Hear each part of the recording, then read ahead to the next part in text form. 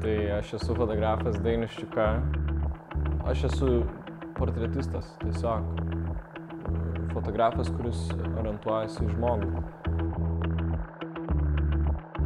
Fotografija, aš sakyčiau, kad atsirado labai labai anksti mano gyvenime. Tai buvo juostinė fotografija, kurią aš labai susidomėjau paauglystėje.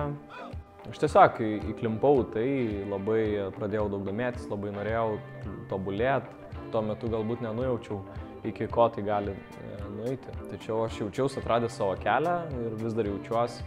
Projektas, kurį pavadinom galiausiai Natural Woman, idėja kilo prieš keletą metų, kuomet teko praleisti mėnesį laiko Los Andželę. Ten yra tas, ta laisvės samprata visiškai kitokia. Ir aš tai pavadinčiau judėjimas už natūralų grožį. Labai įsikrečiau to natūralumu, norėjau ją atvežti į Lietuvą, norėjau parodyti ir atkreipti dėmesį į tai. Aš nesakau, kad šis projektas yra iš mano pusės kažkoks labai originalus. Norėjau sukurti projektą Lietuvoje, tiesiog kuris būtų kaip judėjimas už natūralų grožį. Pagrindinė inspiracija buvo man tai Pirelli kalendorius, kuris kiekvienais metais samdo labai įspūdingus ir tikrai geriausius pasaulio mados fotografus. Bet šiais metais jie nusprendė, kad reikia atkreipti dėmesį į visiškai natūralumą, į, į moters stiprybę.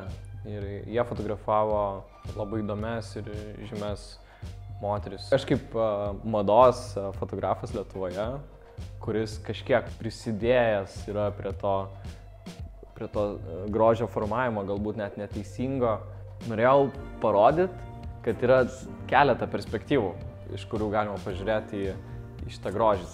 Aš manau, kad šiuo metu ta, ta vartotojiška kultūra yra suformavusi vieną uh, tobulos moters uh, grožio idėją ir uh, mes stengiamės jos vaikytis. Jis nėra natūrali, yra tam, tikri, tam tikros formos sukurtos, kuri, kurių dauguma moterų neturi ir stengiasi to pasiekti, tarkim, naudodamos uh, perdėtą makiažą ir taip toliau.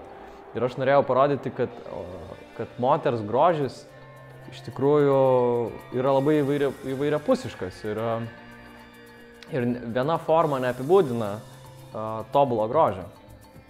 Norėjau nufotografuoti moteris iš įvairių sričių, moteris, kurios daro įtaką visuomeniai, daro įtaką jaunoms merginoms. Projektui teko fotografuoti labai įdomias asmenybės. Labai norėjau, kad tai nebūtų tik iš mados ryties moteris, kurios formuoja tam tikrą visuomenės dalį. Finalinis rezultatas šio, šio projekto buvo planuotas, kad tai bus paroda, kad tai bus mano didžiausia paroda realiai. Aš manau, kad atidarimas buvo labai sėkmingas, žmonės labai šiltai priėmė, labai daug žmonių atėjo. Tai lipo, lipo viskas per viršų, lipo mano emocijos ir ta energija, kurią aš gau iš begalės daug žmonių. Tai mano lūkesčius labai pateisino paroda ir aš, aš džiaugiuosi, kad, kad tai man pavyko padaryti.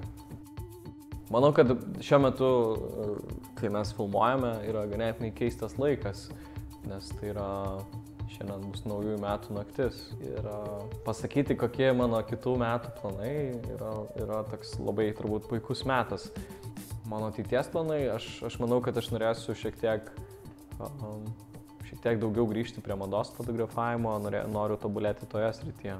Žiūrėsim um, po metų, ar uh, kas bus, ar aš tikrai uh, tai darysiu. Šiuo metu aš galvoju, kad taip, o kas bus, negaliu pasakyti.